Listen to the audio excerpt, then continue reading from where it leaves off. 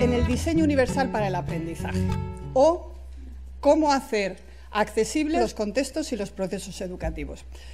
El modelo del diseño universal llevado a la educación. Este es un concepto eh, que se utiliza, si buscáis en la bibliografía, funciona como diseño universal para el aprendizaje y es un concepto que, detrás del cual existe todo un modelo teórico para garantizar o tratar de hacer accesible la educación. Y tiene su origen, como ahora lo vamos a ver, en, un grupo de investigadores, aquí están los cuatro, Ann Meyer, David Rose, Grace Mio, Skip Hall, eh, son investigadores que en el año trabajaban en centros eh, en, el área de Boston, en el Hospital Infantil Psiquiátrico Infantil, en el Hospital Infantil de Boston.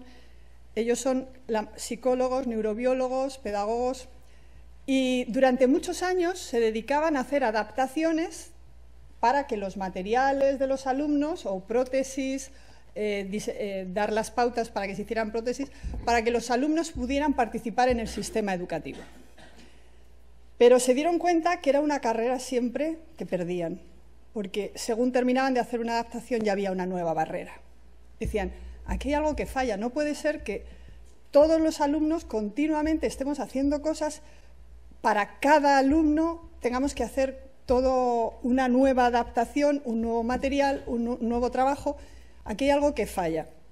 Entonces se dieron cuenta que, lo que en, en esos mismos años, si os fijáis, en los 80 es cuando empiezan a aparecer los portátiles, los ordenadores empiezan a ser popularizarse. Esto es que hay que explicarlo porque no ocurrió como lo de la seta que os decía en el bosque. Esto ocurre porque se dan las condiciones para que pueda ocurrir. Entonces, aparecen los ordenadores y las tecnologías empiezan a, empezar, empiezan a estar presentes. Entonces, además de las ayudas técnicas que ellos utilizaban, se dan cuenta que pueden utilizar el ordenador para que muchos alumnos puedan tener acceso a procesos y a contenidos pero tenían que estar haciendo continuamente adaptaciones y dijeron, aquí hay algo que falla. Y voy a poneros un vídeo a ver si ahora me hace caso, estoy yo, donde el propio David Rose lo explica. Va, subtitulado a ver si se ve bien. Rose, que es uno de los técnicos del CAS, es un neurólogo que trabaja en educación desde hace muchos años. Él es profesor en Harvard, además de investigador jefe del CAST y en este, en este pequeño vídeo que está subtitulado, lo que explica es un poco el proceso, a, cómo llegan a, darse cuenta que algo estaba fallando. Decía, inicialmente ellos hacían materiales para cada, para cada alumno eh, ellos se dan cuenta que no pueden estar corriendo continuamente detrás de las tecnologías y que lo que quieren es poner las tecnologías a su servicio. Eso por un, por un lado. Y por otro lado, que el problema quizá no sean... El problema, en primer lugar, no pueden ser los alumnos. No se puede hacer responsable del, de la, la, responsabilidad de no poder acceder al currículum no es de los alumnos, sino que tenemos que cambiar el enfoque, porque el problema es que el currículum es el que está mal diseñado, no nuestros alumnos. Ese es el mensaje. Nosotros podemos cambiar el currículum, pero no podemos cambiar nuestros alumnos. Nuestros alumnos son quienes son, ellos son los que tienen el derecho a la educación. Entonces, nosotros como profesionales lo que tenemos que lograr es que el currículum se diseñe pensando en todos los alumnos. Y ahí es donde entra el diseño universal.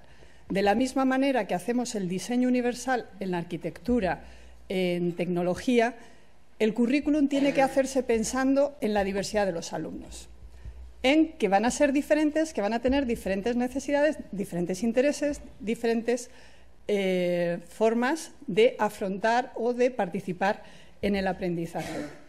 Y desde ese planteamiento es cuando inician lo que es el diseño universal para el aprendizaje, porque lo que se propone es que puedan tener acceso a los aprendizajes todos los alumnos. Y para, para hacer ello, para esto, eh, ellos se basan, el diseño universal para el aprendizaje se basa sobre todo en las investigaciones sobre el cerebro, ya os digo que ellos son sobre todo neurólogos, y en las aportaciones de las tecnologías. Las tecnologías se dan cuenta que les aportan una serie de elementos para poder apoyar el desarrollo del currículum de, manera eh, más sencilla y más, más, rápida. Sobre todo lo pueden hacer eh, de una manera mucho más rápida. Y lo que proponen es un modelo educativo que ofrezca un único marco curricular que minimice o elimine las barreras de manera que hagamos un diseño del currículum que permita que se utilice como una herramienta al servicio de todos los alumnos. Lo que habéis dicho al principio esta mañana, hacer un único, una única forma de currículum o un currículum rígido para todos igual, eso no es equidad ni igualdad, sino lo contrario. Lo que necesitamos es un currículum flexible que permita eh, desarrollarse a través de distintas vías, focalizando en el objetivo más que en la forma de hacerlo, ser flexibles en la manera de lograrlo, a través de diferentes recursos, eh, a través de diferentes formas de metodología, metodológicas o a través de diferentes sistemas de evaluación. Es decir, distintos estilos de aprendizaje, habilidades o necesidades educativas. Por lo tanto, se trata de un compromiso con la mejora de la educación que responda a la diversidad y, sobre todo, que procure mejores experiencias educativas.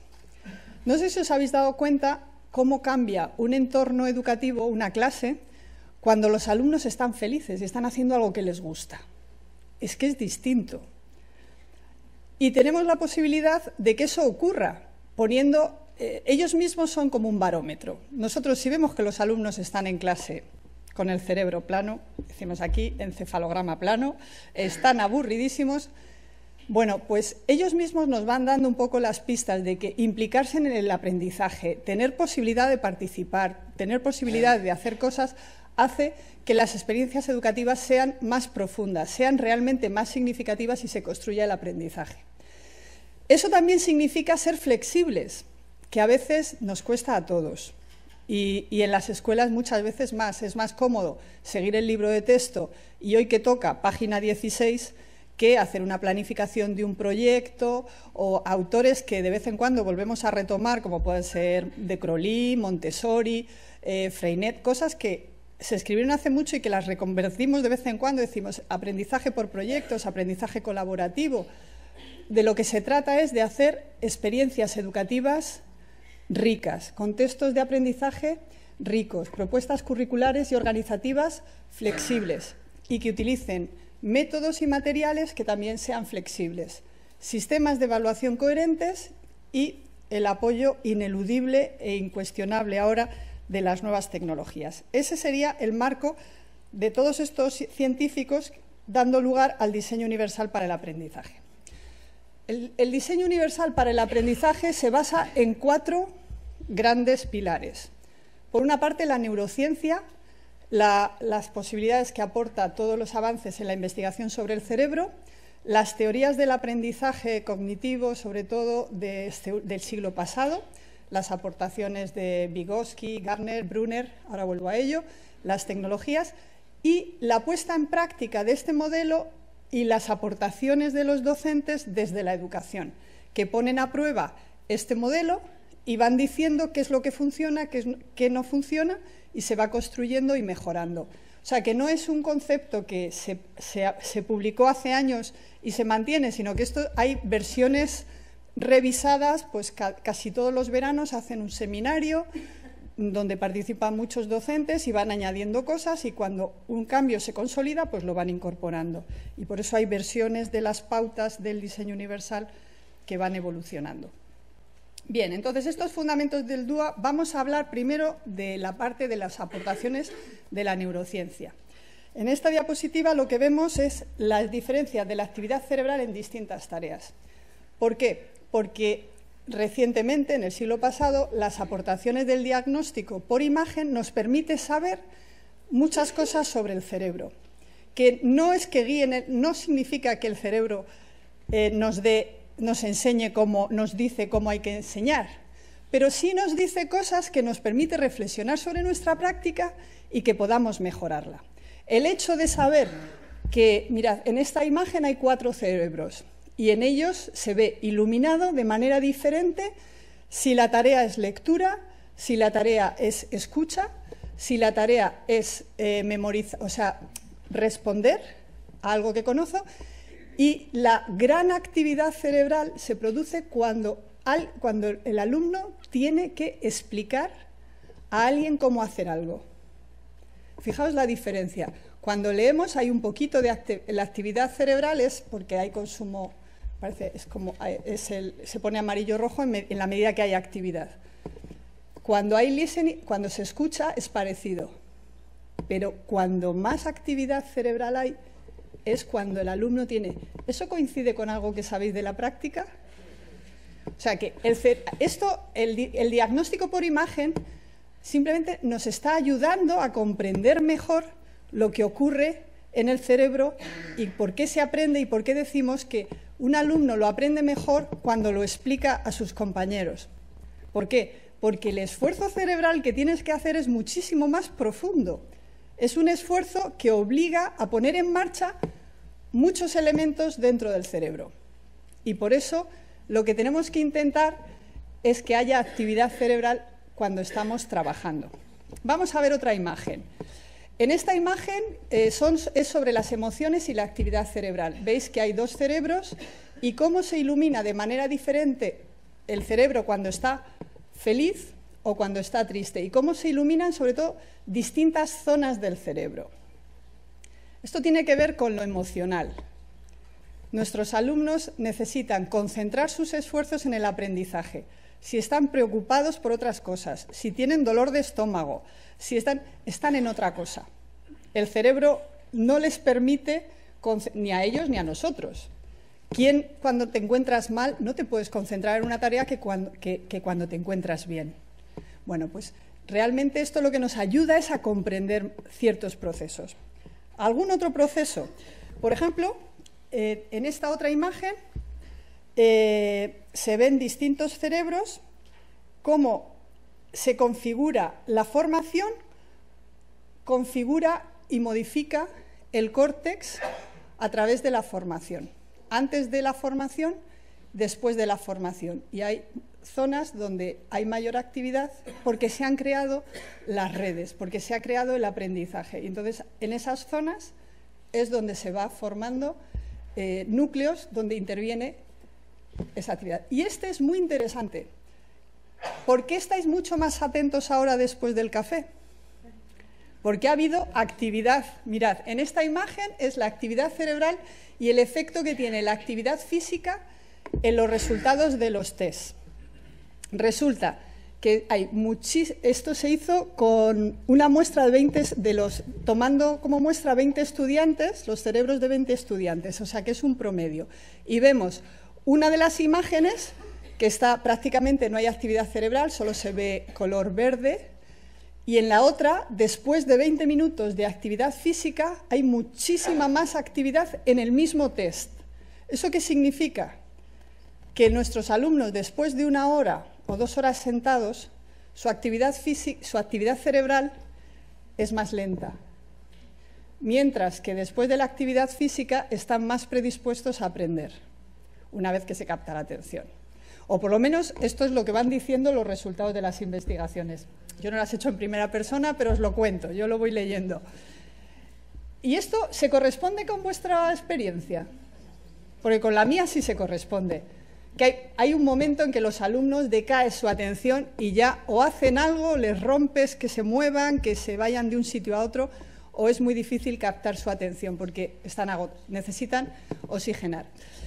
Esto lleva, eh, estas aportaciones de la neurociencia llevan a los, investigadores del CAST a proponer un modelo en el diseño universal basado en, en la actividad cerebral.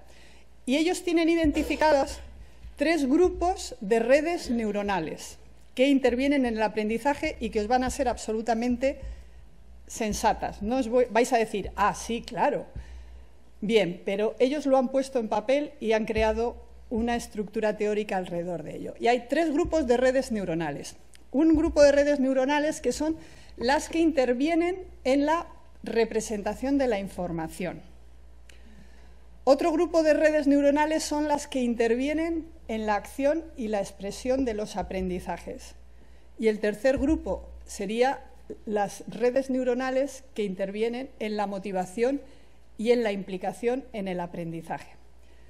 No funcionan, tienen un, un funcionamiento modular, como el cerebro. Sabemos ahora que tiene un funcionamiento modular, es decir, no intervienen de manera aislada e independiente, pero son específicas, son especializadas. De manera que cuando nosotros trabajamos tenemos que pensar que, hay, que, funcionan de manera diferente, como en el coche. Esto es muy parecido al coche. Tú no puedes funcionar sin el embrague o no puedes funcionar si le pones eh, gasoil a un coche de gasolina o no puede funcionar si no pones el acelerador. Tienes que poner todo en marcha para que el coche vaya bien. Y si lo pones todo en marcha bien, el coche va mejor. Pues esto es un poco lo que ocurre con el aprendizaje. Las redes neuronales no intervienen todas ni, en orden, pero se necesita que estén todas y si están todas activadas, el aprendizaje se produce mejor. Y ahora vamos a ver por qué. Entonces, en esta imagen que está el cerebro y un poco ubicadas donde están cada una de las redes neuronales, unas más en la parte frontal, otras en la, motivación y la implicación están en la zona central y en la parte posterior la de la representación de la información. Esto tiene mucho que ver con todo nuestro trabajo, con el que vosotros hacéis y con el que vosotros apoyáis para que hagan los docentes. Las redes, vamos a empezar, quizá siempre hablamos con la taxonomía de Bloom, nos acostumbramos a decir conocimiento, eh, práctica y, valores, ¿no? O afectos. Bueno, pues vamos a empezar por lo contrario, porque quizá una de las cosas a las que nos va llevando la práctica es a que el motor del aprendizaje es el interés, son las ganas de aprender, es la implicación en el aprendizaje. Entonces, las redes afectivas lo que lo que explican o lo que tratan de activar es el por qué se aprende. Es conocer qué es lo que hace que nuestros alumnos puedan implicarse en el aprendizaje y que una vez que estén motivados ya podemos tirar de ellos o ellos van a ir corriendo y avanzando para seguir aprendiendo. Pero si no conseguimos que quieran aprender, es una tarea titánica que generalmente puede que no se dé. El segundo tiene mucho que ver con la labor que hacéis vosotros y con la labor de los docentes, y es todo lo que tiene que ver con la presentación de la información. Son las redes del reconocimiento, es decir, para que el cerebro pueda procesar una información la tiene que reconocer. La información que no llega al cerebro, por mucho que la hayamos presentado muy bonita, no se puede procesar. Y seguro que alguien tiene una experiencia de todos tenemos experiencias de estar en entornos donde no podemos procesar la información porque no sabemos, no, llega, no la podemos reconocer. Entonces, es cómo garantizar que se aprende. Y el tercer grupo de redes neuronales son las redes estratégicas, que son las que tienen que ver con el procesamiento de la información y con cómo se aprende. ¿Qué, se puede hacer para que el alumno interactúe con la información, esa información que les hemos motivado para que estén interesados en conocer? Esa información que hemos garantizado que les llega. ¿Y ahora qué hacen con esa información? Ese es el meollo del aprendizaje. Ahí es donde se construye el aprendizaje. Bueno, vamos a tratar de ir grupo a grupo. Vamos a empezar por esto, por las redes afectivas. En esta, diapositiva vemos un cerebro en el que en la zona central eh, estarían ubicadas principalmente las redes neuronales que intervienen en el porqué del aprendizaje y que tiene que ver con que los alumnos elijan, opten, se puedan implicar.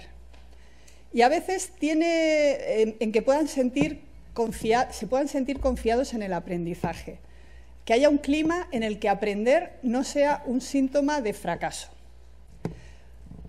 Este, este, elemento es súper importante y apenas nos damos cuenta, especialmente con los alumnos con necesidades especiales. Porque si a nosotros hemos construido nuestra vida en función de lo que queremos hacer, de lo que nos gusta hacer o lo que nos sale bien. ¿Quién de los que está aquí ha construido su vida en base a lo que le sale mal. No, porque la resistencia a la frustración tiene un límite. Entonces vas haciendo caminos en base a lo que puedes y sabes hacer. Yo siempre pongo un ejemplo para en mí misma y si alguien quiere compartir alguno, encantado. Yo hice una vez vuelo sin motor. Casi me moría de miedo. Yo solo deseaba que aquel avión bajara, porque me di cuenta que yo como piloto no tenía futuro. Yo solo quería llegar a tierra otra vez y dije, esto no es para mí. Desde entonces nunca he querido ser piloto de aviación, ni paracaidista, ni nada por el estilo, nada que tenga que ver con aquello. O sea, eso fue una decisión que tenía que ver con algo mío, o sea, es que sentía tanto pánico que lo, único que quería es que aquello se terminara y me llevara a la tierra otra vez. Pero luego hay otras decisiones que las he ido tomando por frustraciones. Por ejemplo, cuando, yo hacía un dibujo y me salía regular, porque no parece que estuviera yo muy bien dotada para hacer dibujos, tenía, me lo recalcaban bien en la escuela y me decían, fatal. Yo dije, este tampoco va a ser mi camino. Entonces, muchos caminos los abrimos o los cerramos desde los centros educativos, porque reforzamos la parte negativa o ayudamos a que haya parte positiva. En este sentido me refiero a la confianza en uno mismo, a un clima de confianza para aprender. Cuando uno día tras día está fracasando en un aprendizaje, habrá un día que diga, ya no lo quiero intentar más. Esto no es para mí. Y el sistema va expulsando así a los estudiantes, especialmente a los alumnos con necesidades especiales, porque es tan fácil que se encuentren barreras que algún camino no lo van a tomar. O, en algún momento van a decir, bueno, pues este que es el más facilito porque en este otro estoy encontrando demasiados, demasiados fracasos. Entonces, necesitamos crear entornos de aprendizaje donde los alumnos se sientan confiados y aprender no sea sinónimo de un esfuerzo que me lleva al fracaso, sino la posibilidad de que aprender supone un esfuerzo, pero tiene un resultado que pueda ser positivo. Y en eso tiene mucha importancia el feedback. Otra cosa muy fácil que también hacemos pocas veces. Tú puedes tener en un examen un 4 y tú dices, jolín, pues si me he esforzado mucho, te lo dicen los alumnos, pero no saben qué es lo que hicieron mal. Entonces, ¿cómo van a aprender?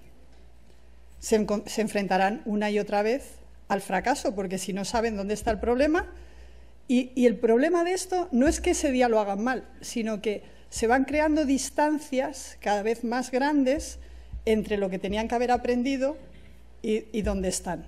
Y esas distancias a veces se, hacen tan grandes que no son salvables. Entonces, es muy importante trabajar con el feedback diciéndole al alumno lo que está haciendo bien y lo que tiene que corregir o dónde están los errores para trabajar sobre eso y mejorar. Y luego, además, reflexionar, que los alumnos también tengan, se les valore, que vayan reflexionando sobre sus avances, que tengan posibilidad de comprender qué han hecho bien y qué han hecho mal. Todo esto es un conjunto, el trabajar en equipo. Vamos a ver ahora esto cómo lo llevaríamos a la práctica. Todo esto interviene en las redes neuronales que nos predisponen para el aprendizaje. Son las redes neuronales que intervienen en la parte afectiva, emocional del aprendizaje. El segundo grupo, luego voy a volver a ellos más en detalle porque luego lo que vamos a hacer ahora vamos a hacer la visión de las tres redes neuronales y luego vamos a ver cómo trabajarlas en la práctica. El segundo grupo, en esta diapositiva vemos las redes de reconocimiento que están situadas en la parte frontal, principalmente del, esta es la del cerebro, y tiene que ver con qué se aprende.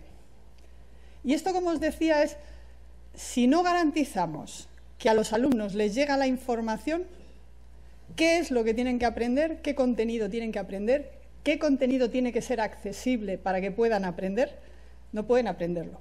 Por mucho que esté bonito en su formato, no lo pueden aprender. Y tiene que ver con que los alumnos tengan posibilidad de reconocer esa información, identificarla, el sonido, la imagen, eh, la palabra, y ir poco a poco creando, o deprisa, patrones de reconocimiento, de tal manera que sepamos que siempre que se oye una palabra significa una cosa y eso se va almacenando y se van creando esas redes que nos permiten reconocer, conocer y reconocer eh, la información para construir el aprendizaje. Esto tiene mucho que ver con... Ahora parece mágico, o sea, lo habéis hecho y lo hemos hecho tanto que nos parece mentira, pero reconocemos una voz, reconocemos un cuadro por el estilo. Tú ves un cuadro y dices, este es fulanito, aunque no lo conozcas, pero hay patrones. Y los alumnos, por eso el, que, el que vayan conectando la información, que la reconozcan y además la puedan organizar y conectar con otros conocimientos y patrones. Y el tercer grupo, las redes estratégicas, esta sí que está en la parte frontal, es el cómo del aprendizaje, es la parte que tiene que ver con la construcción del aprendizaje. Eh, tiene que ver con la parte ejecutiva y con la interacción con la información. Tiene que ver con, con poder manipular la información y trabajar con ella, con hacer un plan, con poner objetivos, con ser conscientes del proceso de aprendizaje, con todas las funciones ejecutivas y cómo dosificar o poner apoyos para que el aprendizaje pueda llegar al nivel, digamos, profundo del aprendizaje. Mirad, cuando les decimos a los alumnos, leen un texto, imaginaos, ¿de qué color era el caballo blanco de Santiago? Contesta. ¿De qué color era el caballo? Tienen que decir, blanco. Pues estamos en el nivel de, actividad cerebral mínimo, pequeñito, pequeñito. Cuando los alumnos tenían que contarnos la historia del caballo de Santiago, etcétera, están trabajando a nivel profundo con esa información, están construyendo el aprendizaje. Pero nuestros, muchos alumnos necesitan eh, que para activar esas funciones ejecutivas haya apoyos. Por ejemplo, eh, alumnos que tienen problemas de memoria, si están todo el tiempo pensando focalizando en recordar los pasos que tienen que hacer, difícilmente van a poder entrar en la tarea. Luego, descarguémosle de la tarea de memorizar, imaginaos las tablas de multiplicar, si ese es el problema, de tal manera que puedan permitir que el cerebro haga el resto de las tareas.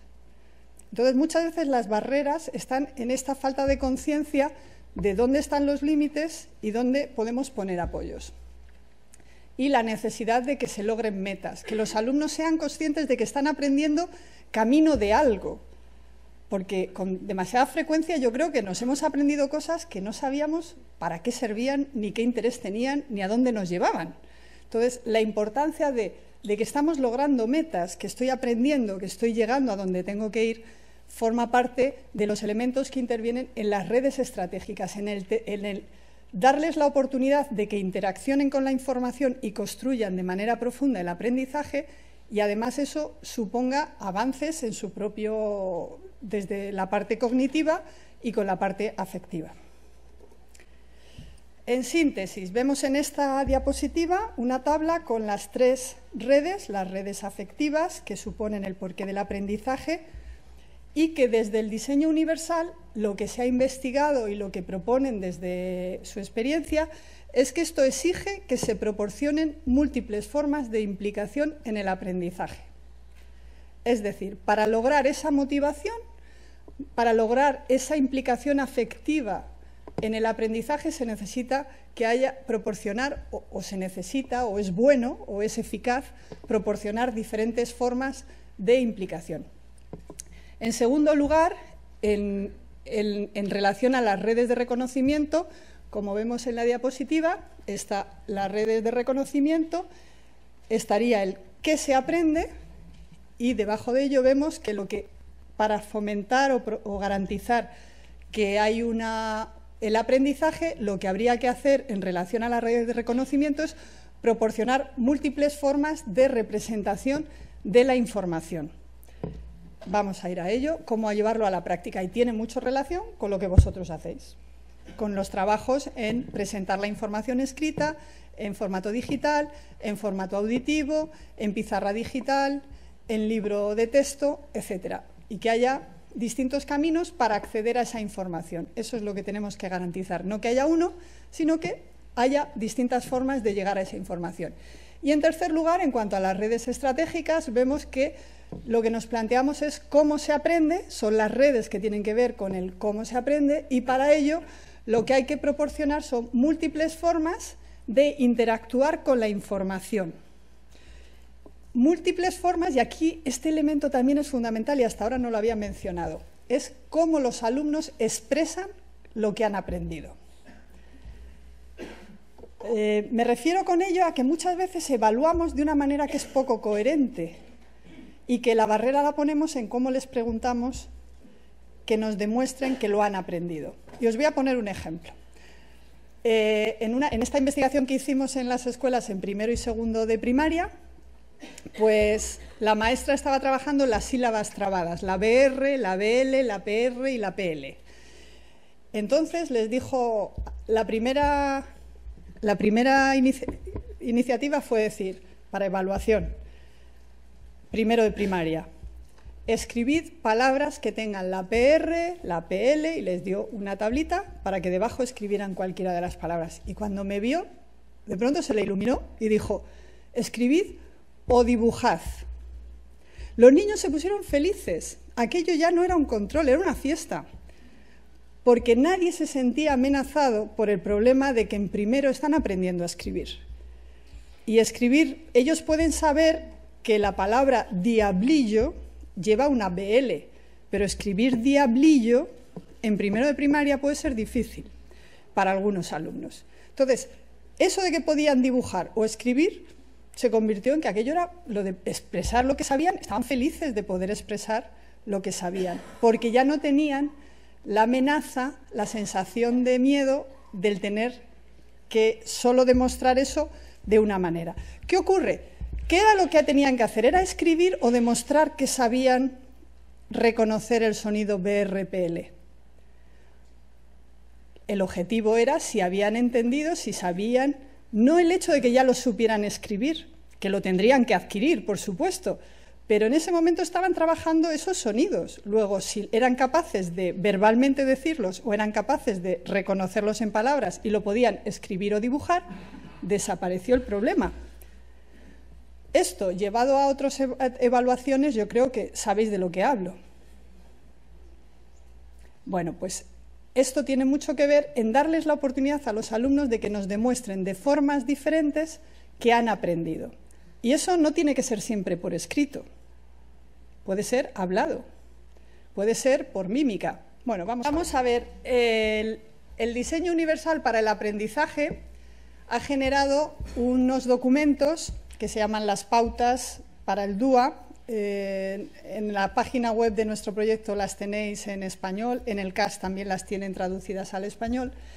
Y lo que han hecho es identificar para cada una de estas redes neuronales y para cada uno de estos eh, componentes del aprendizaje, acciones en la práctica didáctica curricular que fomentan o facilitan el acceso a esos procesos de aprendizaje. Entonces, eh, vienen ordenadas para cada, uno de estos principios que os he dicho, el principio de proporcionar múltiples formas de implicación, proporcionar múltiples formas de representación y proporcionar múltiples formas de acción y expresión, cada uno de estos principios tienen tres grupos de pautas, por así decirlo, para que esté organizada la información.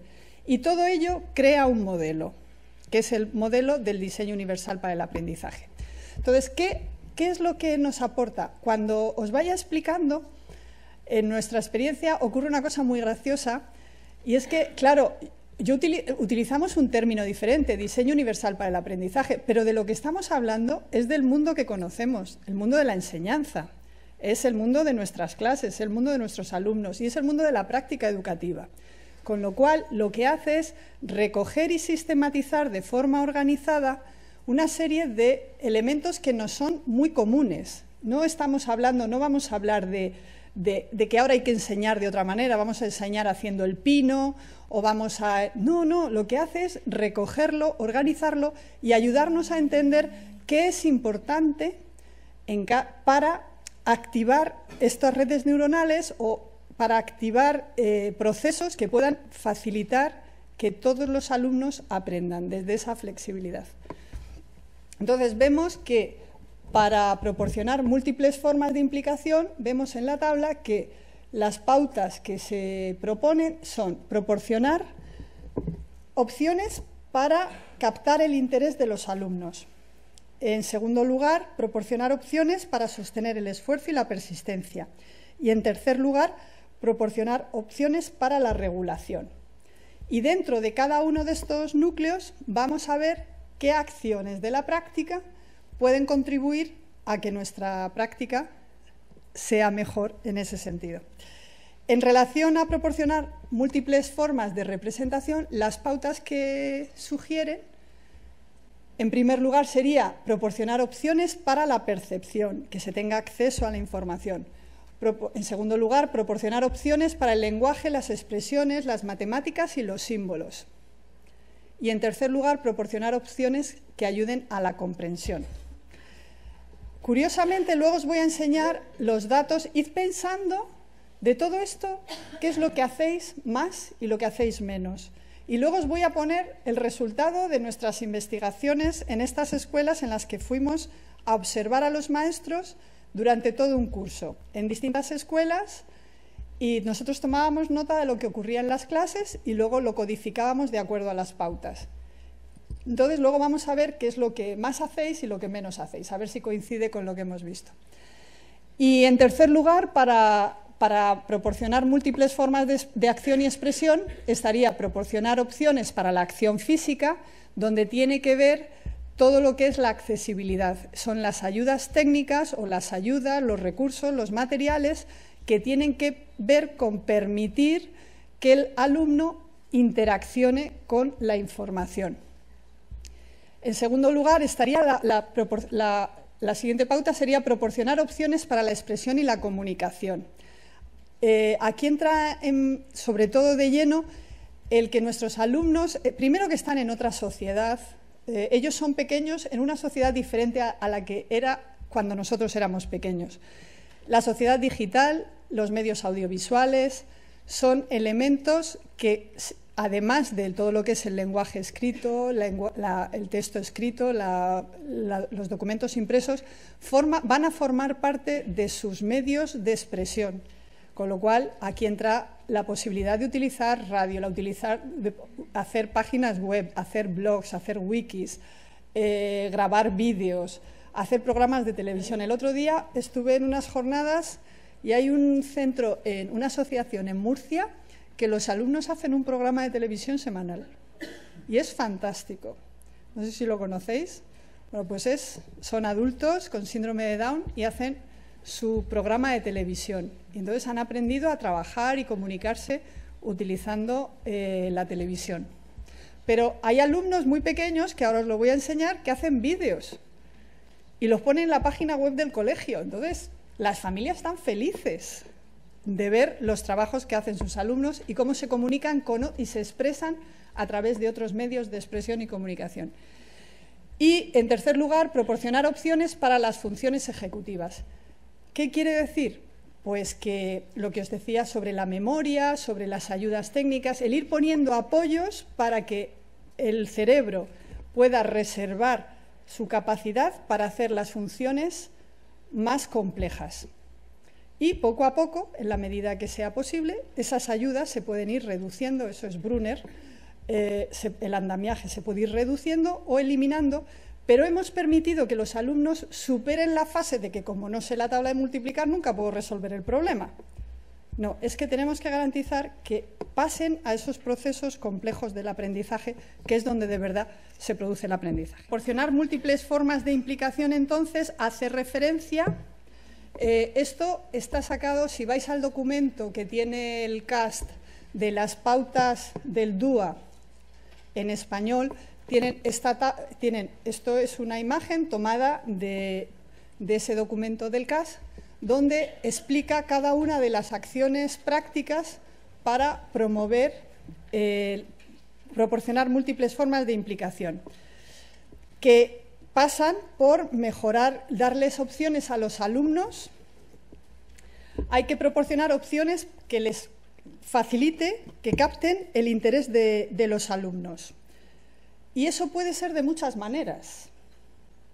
no necesariamente tiene que ser solo, precisamente, yo me he dado cuenta que esto ocurre en la universidad también.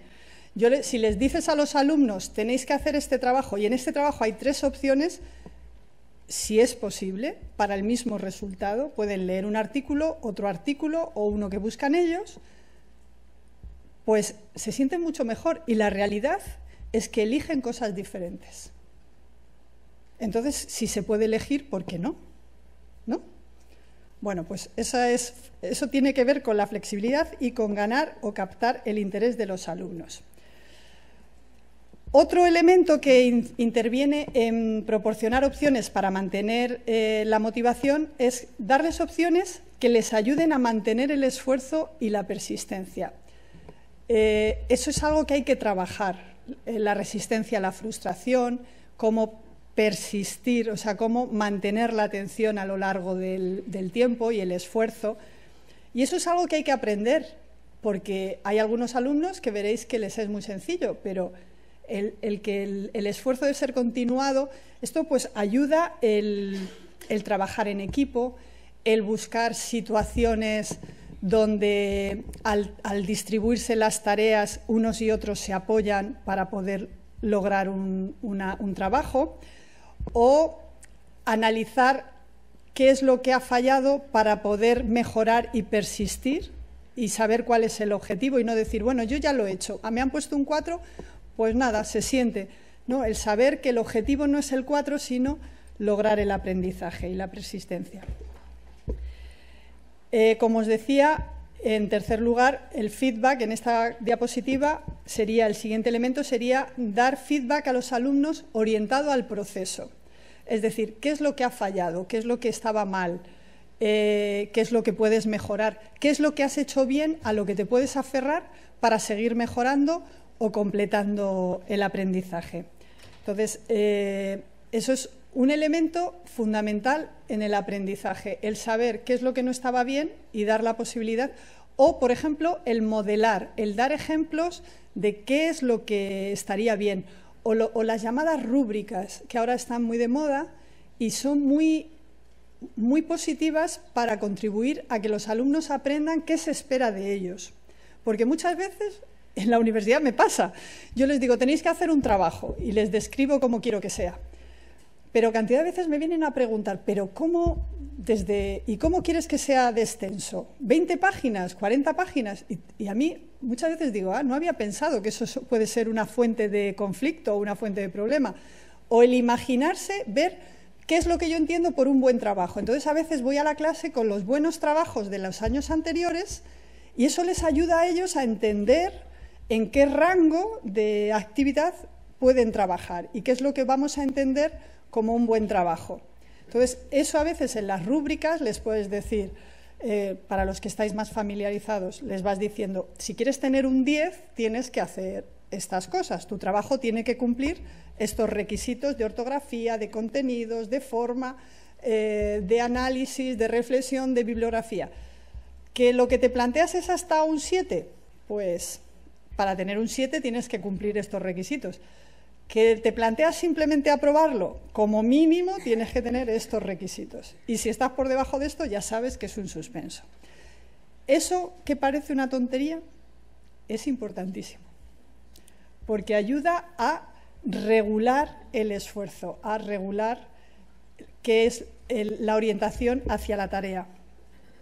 Lo que me refiero, proporcionar opciones para la autorregulación, reflexionar sobre lo que he hecho bien, eh, y sobre todo saber a qué nivel eh, quiero esforzarme, porque puede ser una tarea que no nos gusta nada, decir, mira, en esta me conformo con aprobar, ¿vale? Pero que sepan que hay unos mínimos, que hay unos criterios y que ellos puedan irse regulando.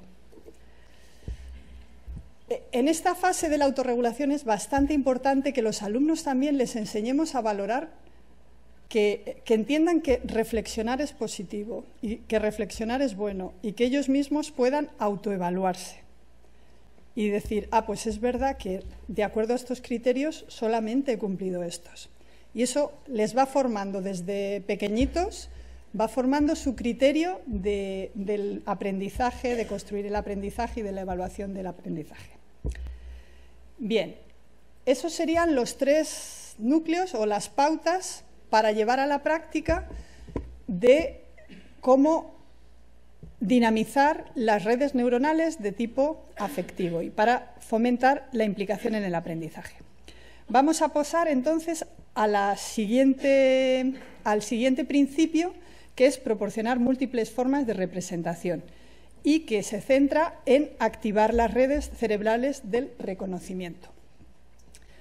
En esta diapositiva veis que está, está tomada las las sugerencias, las pautas que da el CAST en relación a, redes, a estas redes cerebrales y que ahora voy a pasar a hablar de cada uno de esos núcleos y qué tiene que ver. Lo que es importante es que, repito, como decía antes, tiene que ver con todo lo que hacéis en, vuestro trabajo de garantizar que los alumnos van a tener acceso a la información.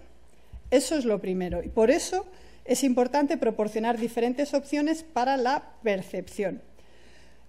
proporcionar múltiples opciones para el lenguaje y los símbolos y, en tercer lugar, proporcionar opciones para la comprensión de la información.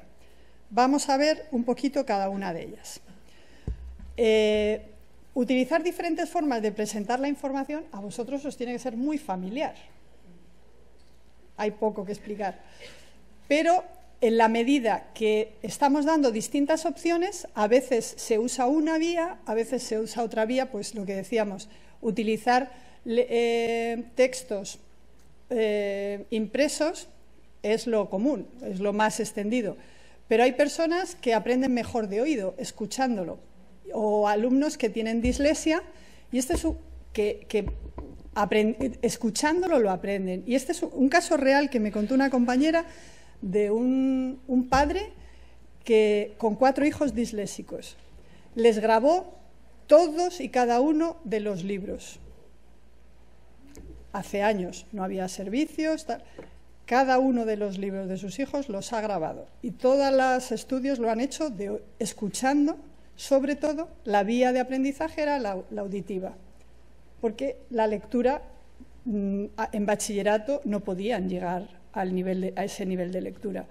Entonces, además de las aplicaciones técnicas que ahora existen, antes no existían, pero esa era una vía. Y yo tengo una compañera, bueno, de hecho ahora le una compañera y, alumna, le dirijo la tesis en este momento, ella ha estudiado, ha estudiado en Estados Unidos y ha estudiado grabando cada clase. Entonces ella siempre va a clase con una grabadora, se lo dice al profesor desde el principio de curso, utiliza aplicaciones técnicas para poder escribir sus trabajos, pero ella va continuamente, salía de clase y entonces iba escuchando nuevamente las clases. Y así, hizo la, así ha hecho su, su grado y su máster. O sea que lo importante es identificar cuáles son las vías preferentes para que se produzca el acceso a la información y se pueda dar el aprendizaje. Impreso, auditivo, eh, braille, películas. Hoy en día hay tantas cosas en YouTube que hacen demostraciones de, los aprendizajes. Hay eh, autodescripción, hay materiales eh, digitales en, todos los formatos. Bueno, pues utilizar diferentes formas de presentar la información.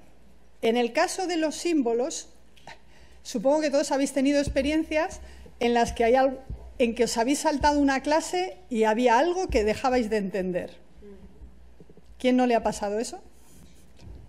Es más, ¿sabéis la diferencia entre yo toda la vida he sabido dividir hasta que llegué a Estados Unidos? Porque allí lo hacen diferente. ¿Alguien ha tenido esa experiencia también?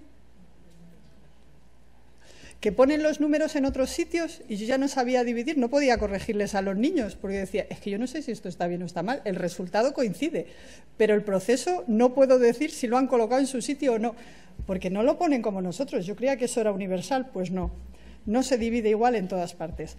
¿Y quién dice eso? Pues las notaciones matemáticas, pues saber el símbolo igual donde se coloca. ¿Cuántos niños fracasan en matemáticas porque no ponen bien los símbolos y no saben lo que significan los símbolos? Notaciones musicales, etcétera. Bien, muchos de, estas, de, de estos símbolos lo que se necesita es, si hiciéramos el feedback, podríamos entender por qué hacen mal los problemas. Y es que a lo mejor lo que les falta es entender cuáles son los símbolos. Entonces, como maestros, como docentes, hay que poner mucho énfasis en aclarar todo este tipo de elementos simbólicos que son la clave del, del aprendizaje más complejo. Pero que si eso no está claro, se construye sobre bases erróneas y no se puede continuar el aprendizaje y ahí se va bloqueando. Por cierto, me dijeron, ¿sabéis cuándo se, las, a qué edad se empiezan a determinar las preferencias profesionales? Es que ha sido una conversación de hace unos días, yo no lo sabía. ¿Eh? Como a los 12 años. Cuando las matemáticas se te dan mal, a los 10, 12 años decides que no vas a tener un futuro científico. Te pasas a las letras. Bueno, pues muchas veces es por problemas de esto. Vas acumulando problemas sobre elementos que no se han aclarado, los más, los... Entonces, utilizar distintas, distintos formatos o ayudas para fomentar que se comprendan las matemáticas y los símbolos. Digo matemáticas porque es el más conocido en el que más lo notamos, pero símbolos en cualquier, eh, en cualquier lenguaje. Y proporcionar diferentes opciones para la comprensión. Aquí tiene mucho que ver con clarificar las palabras, clarificar el vocabulario, conectarlo con sus significados, con significados previos, utilizar mapas conceptuales, las relaciones de unos conceptos con otros, las relaciones de unas palabras con otras. Eh, es muy importante aunque está muy poco valorado, hubo una, época en, la historia de la educación en la que el aprendizaje, la memoria, el aprendizaje memorístico, la repetición han estado muy devaluados. Y con los años estamos volviendo atrás sabiendo que es un componente fundamental en, la construcción del aprendizaje. Eh, la memoria es un componente que, lo sabéis, un alumno con buena memoria tiene parte del bachillerato hecho o de la secundaria de los estudios, porque es un componente fundamental. ¿Y cómo se hace el aprendizaje? Por repetición. Aunque parezca una mentira, parezca mentira, es necesario que a nuestros alumnos les repitamos mucho, les explicitemos las cosas, explicitar los significados, explicitar las relaciones, explicitar los conceptos y hacerles a ellos que verbalicen los conceptos, las definiciones, porque ahí están construyendo los caminos neuronales, ahí están construyendo los caminitos para el aprendizaje. Sea cual sea el método que utilicemos, mapas conceptuales, eh, murales, gráficos, lo que sea, pero que establezcan estas conexiones con los significados más allá de, recordáis, sabemos algo, eso está bien, pero hay que pasar a más, a definir, a, explicitar las relaciones. Y en tercer lugar, proporcionar múltiples formas de acción y expresión. Este es el meollo de la cuestión. Lo otro son como los prolegómenos. Lo otro es como prerequisitos para que se dé el aprendizaje. Pero el aprendizaje se da aquí, en el momento en que los alumnos interaccionan con la información. Y para ello eh, en esta diapositiva, sobre el proporcionar múltiples formas de acción y expresión, he tomado la parte del esquema de las pautas del diseño universal del CAS para, este principio. Y en él insiste, proporcionar múltiples medios físicos de acción. Y proponen que una de las vías es variar los métodos de dar respuesta, que no sea solamente escribir, por escrito la respuesta, sino que la respuesta pueda ser un vídeo, pueda ser un libdap, pueda ser una wiki, pueda ser una representación teatral, eh, pueda ser una adaptación de una historia, que las vías de responder que sean múltiples. ¿Por qué? Porque no solamente beneficiamos al alumno que esa es su vía, es que estamos enriqueciendo los procesos a todos. Y cada uno va a elegir la que mejor se le dé. Pero las otras contribuyen también a su formación, contribuyen también a su mejora. No solamente el escribir, porque hay alumnos que escriben muy bien, pero ¿cuántos tenemos que escriben muy bien que se les da muy mal la expresión verbal o la expresión corporal o la actividad física o la musical? Bueno, pues hay que variar las formas de respuesta y de navegación. Y luego optimizar el acceso a herramientas. Nos tenemos que hacer eh, transmisores de herramientas para que luego nuestros docentes se sientan cómodos y usen distintas herramientas que mejoran el aprendizaje de los alumnos. O sea, las ayudas técnicas, aquí en este foro, por supuesto, estáis muy sensibilizados de las ayudas técnicas, la accesibilidad, pero fijaos, esto es muy llamativo y yo me siento muy responsable porque soy profesora en la Facultad de Educación, pero en el máster de educación especial, donde ya todas mis alumnas son licenciadas, digo alumnas porque solo había un alumno, ¿eh? Se merece mis respetos, pero solo era uno, o sea, es una mayoría aplastante femenina. Bueno, pues nadie de toda la clase sabía lo que era el CEAPAT y no sabían lo que eran las ayudas técnicas. Esto es muy grave.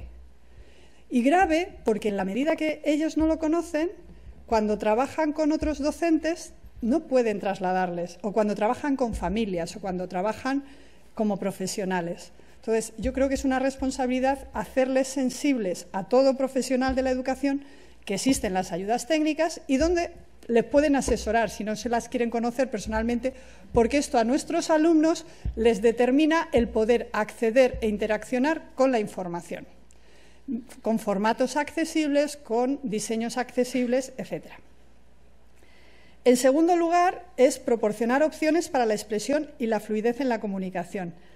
A nuestros alumnos les encanta ir con los móviles haciendo fotos de cosas y luego hacernos un PowerPoint. ¿Hay alguno que no? Pues tenemos ahora tantísimos recursos para que nos demuestren el aprendizaje, sean creativos, eh, puedan trabajar en equipo, porque además esto lo hacen en equipo, entonces contribuyen. Uno hace la historia, el otro hace el montaje, unos hacen dibujos, otros hacen fotografías de sus propios trabajos y construyen cuentos como lo que os he enseñado. Pero les estamos dando muchas herramientas para que se sepan expresar de muchas maneras. Pues el que no sabe ante un público se siente intimidado, pues que pueda ir acompañado de un PowerPoint o que se graben pequeños vídeos donde ellos explican cosas entonces, darles herramientas para que se expresen a través de distintos medios de comunicación. Ya os digo, no solamente porque para algunos alumnos es la única vía, no, es que es bueno para todos, que sepan expresarse y eso va a contribuir a mejorar su interacción con la información. En una imagen veíamos un cerebro en el que cuando los alumnos explican la información, se activa mucho más el, cerebro y se construye mejor el aprendizaje. Pues trabajar con distintos medios de comunicación les pone en una situación de actividad que les lleva a construir de manera más profunda su aprendizaje. Además de utilizar distintos lenguajes, porque no es el mismo el lenguaje escrito que el lenguaje de la fotografía o que el lenguaje audiovisual. Y esa complementariedad y el tener que utilizar distintos sistemas de representación obliga también a construir mejor el pensamiento y el lenguaje, de manera más profunda. Y luego, una cosa importante, además de utilizar distintas herramientas, distintos, es conseguir que haya niveles graduados de apoyo. Hace unos días murió Brunner. Supongo que para unos será más familiar, unos seréis más seguidores de él que otros, pero Brunner, eh, tras estudiar a Vygotsky, aportó el concepto del andamiaje en el aprendizaje, lo cual es fundamental. Y él estudió mucho a Vygotsky y la zona de desarrollo próximo, es decir, aquello que es más difícil de lo que puede aprender un alumno no lo va a aprender.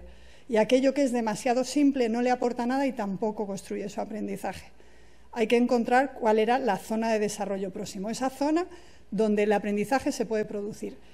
Bueno, pues una vez estudiado Vygotsky, Brunner lo que, lo que, lo que crea es cómo hacer eso. Y entonces, cómo a los alumnos hay que llevarles, hay que darles oportunidades o crear sistemas, y él crea este concepto del andamiaje, que permita ir dando apoyos a los alumnos para ir avanzando en su aprendizaje. Y generalmente esos apoyos se pueden ir retirando. Si no, pues se mantienen hay quien va a usar la calculadora toda su vida porque tiene problemas con el cálculo, o gente que no lo tenía y luego lo va a tener. Pero para construir el aprendizaje se pueden ir poniendo ayudas de distinto tipo, la calculadora, eh, palabras escritas en la, en la, pizarra para que puedan fijarse en ellas mientras están construyendo una redacción, pero no les suponga un freno en el aprendizaje, y eso poderlo ir retirando o graduando. De manera que lo importante es que lleguen al aprendizaje. Eso es lo verdaderamente importante. Y si para eso el sistema de andamios ayuda, bienvenido Brunner y los andamios, porque lo que queremos es que nuestros alumnos aprendan. Y en tercer lugar, la tercera pauta de este grupo sería proporcionar opciones para las funciones ejecutivas. Y aquí tiene que ver con todo el proceso estratégico de la cabeza. Nosotros todos somos estrategas, o sea, no vamos por la vida, lo que pasa es que lo vas incorporando intuitivamente, pero para llegar a un punto hacemos un plan, a qué hora tengo que salir, a qué hora tengo que ponerme el despertador, eh, qué esfuerzo tengo que dedicar a hacer una redacción o qué esfuerzo, qué tiempo necesito para ir haciendo un trabajo. Pero si los alumnos son conscientes de sus metas y de los procesos para lograrlos, estamos formándoles en esa capacidad estratégica. ¿Qué ocurre cuando un alumno se pone, todos sabéis esto? Vamos a ver si alguien me dice que no. Hay en todas las clases o todos nuestros alumnos hay momentos en que se ponen metas que no son alcanzables. ¿Qué ocurre? Tiene un efecto contraproducente, porque el fracaso está garantizado. Primero, no aprende a ser realista en la planificación y dos, tienes el sentimiento de que has fracasado. Entonces, es importante ayudarles a ir poniéndose metas que sean adecuadas, que sean asumibles, y estas cosas que ponemos de, de, guiones del tiempo, de qué es lo que vas consiguiendo, cuándo lo vas consiguiendo, que les ayude a visualizar su evolución en el logro de las cosas, o, por ejemplo, utilizar, poner un objetivo y poner los pasos que tienen que dar y que marquen esos pasos antes de entregarnos un trabajo, desde los pequeños les estamos queriendo formar en qué tienen que entregar. Tienen que poner el nombre, tienen que poner la fecha, tienen que poner la respuesta a una pregunta y luego tienen que poner su opinión. Bueno, pues si tienen una especie de lista de comprobación donde tengan que ir diciendo hecho cada uno de estos pasos, estamos entrenándoles en modelos que damos por hecho que uno nace con esos modelos puestos y no es cierto. Muchos de esos modelos se aprenden porque tienes la suerte de que en tu familia pues te lo transmiten. Pero hay muchos niños que pues no, eso no es tan evidente y necesitan que esos patrones se puedan ir entrenando y para eso hay que hacerlos explícitos en los contextos educativos. Desde pequeñitos, esto se puede empezar en tres años, con sus gomets, con sus caritas o con sus marcas, pero se puede trabajar. De manera que apoyemos la planificación y el desarrollo de esas estrategias y les ayudemos a gestionar la información, el tiempo, los recursos a utilizar. Pues, por ejemplo, ahora también, eh, ahora que está Internet, la información es recorta y pega. No, no puede ser recorta y pega, sino cómo esa información puede ser una fuente de riqueza y cómo se transforma y se utiliza, se cita y nos ayuda a aprender o aumentar la capacidad para hacer un seguimiento de cuál ha sido el progreso en estos aprendizajes. Pues estas marcas en el tiempo, ir viendo a qué, a qué nivel he llegado y que permita que sean en el aprendizaje más eficaces. Donde vemos entonces que hay redes afectivas, redes de reconocimiento y redes estratégicas. Y que es necesario que trabajemos con estas tres, estos, seamos conscientes de que estos tres grupos de redes neuronales intervienen en la, en la educación y que nosotros podemos fomentar que se activen o no, y que lo ideal, como en el coche, decíamos con el símil del coche, es que se activen todas para que se produzca el aprendizaje. Hasta aquí, digamos, la presentación de lo que es el modelo de los principios y las pautas del diseño universal para el aprendizaje. Momento para un respiro.